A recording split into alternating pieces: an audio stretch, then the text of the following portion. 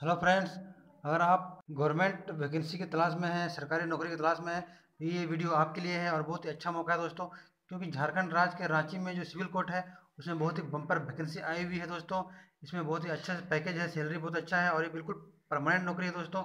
इसमें आप फॉर्म भरिए और आसानी से आप स्टेप बाय स्टेप हमारे वीडियो को देख कर फॉलो कीजिए। आप कैसे फॉर्म भर सकते हैं, वो फॉर्म कहाँ से मिलेगा, किस तरह करना है आपको, कब तक लास्ट डेट है, आपको क्या रिक्वायरमेंट है, मैंने सारे स्टूडियो में बताया है। और उसका लिंक जो है दोस्तों मैं अपने वीडियो के डिस्क्रिप्शन दे दिया है। वहाँ से भी आप इसके फॉर्म को लोड कर सकते हैं। हमारे वीडियो को लास्ट तक देखिए और फॉर्म को आसानी से भरिए। और हमारा वीडियो अच्छा लगे तो लाइक बटन को ज़रूर दबा दीजिएगा, दोस्तों को शेयर कीजिए। और आप हमारे चैनल पर नए हैं सब्सक्राइब कीजिए हमारे चैनल को और साथ में दबाइए बेल आइकन को। तो ये शुरू करते हैं। मेरा नाम है जिसान और स्वागत करता हूँ आपका डी क्लास चैनल में।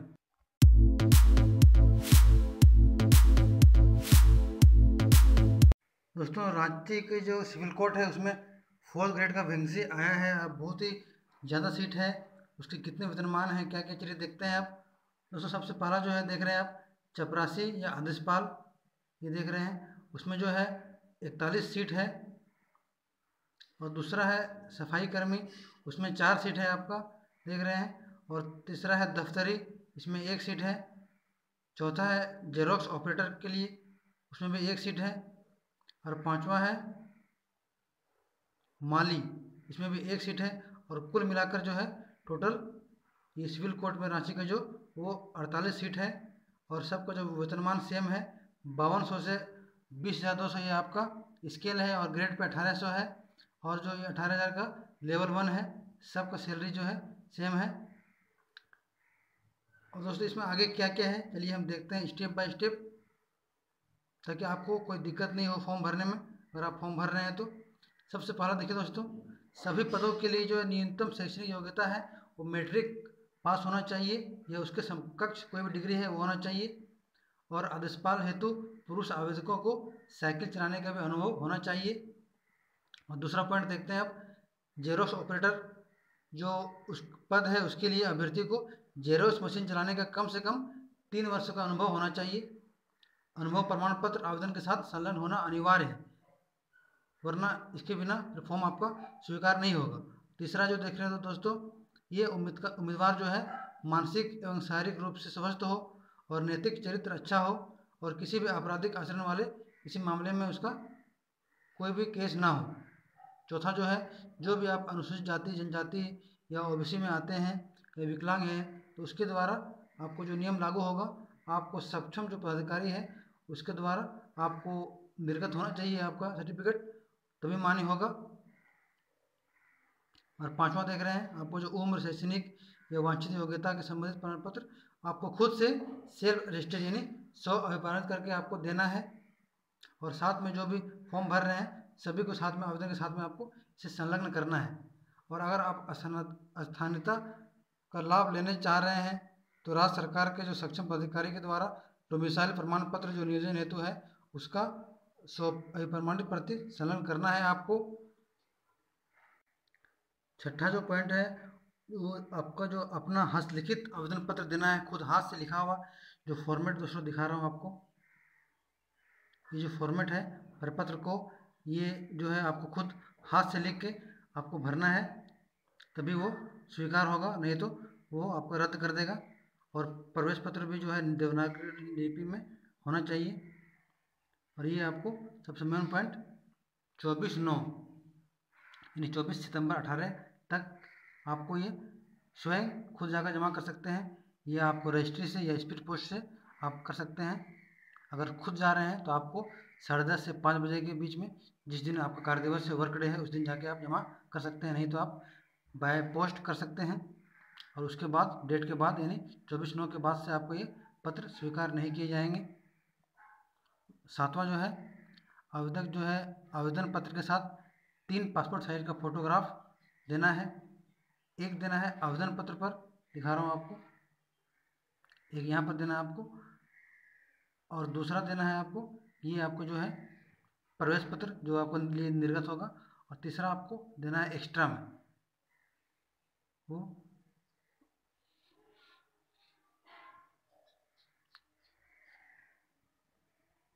हाँ देख रहे हैं आप, जैसे कि एक आवेदन पत्र पर, दूसरा प्रवेश पत्र पर और तीसरा अतिरिक्त और एक जो है सो पता लिखा हुआ, लिफाफा, जिसमें कि आपको वो प्रवेश पत्र भेजेगा।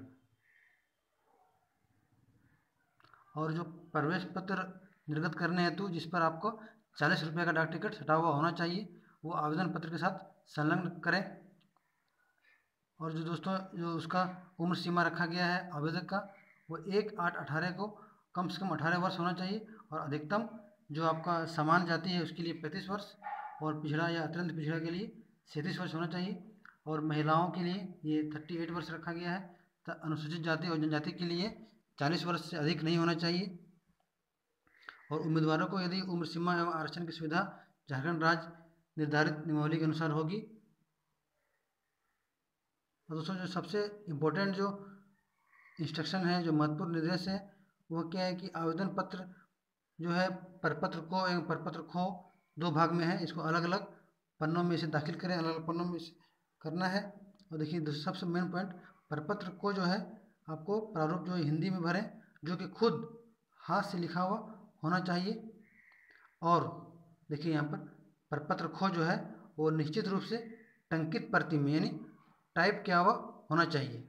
याद रखिए, प्रपत्र को ये आपको खुद हाथ से लिखना है ये वाला ऊपर, जो आवेदन का प्रपत्र है। और दूसरा आपको दिखा दे रहा हूँ ताकि कोई गलती ना हो। ये देखिए, प्रपत्र को जिसमें आपकी, आपका प्रवेश पत्र निर्गत होगा। वो आपको टाइप किया होना चाहिए, तभी ये स्वीकार होगा।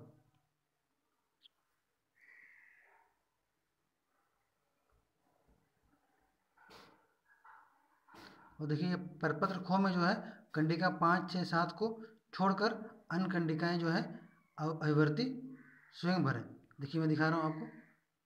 देखिए, ये आपको स्वयं भरना है या इतना, और इसके बाद ये जो पाँच, छः, सात छोड़ देना क्यों? यहाँ लिखा हुआ है, केवल कार्यालय उपयोग हेतु।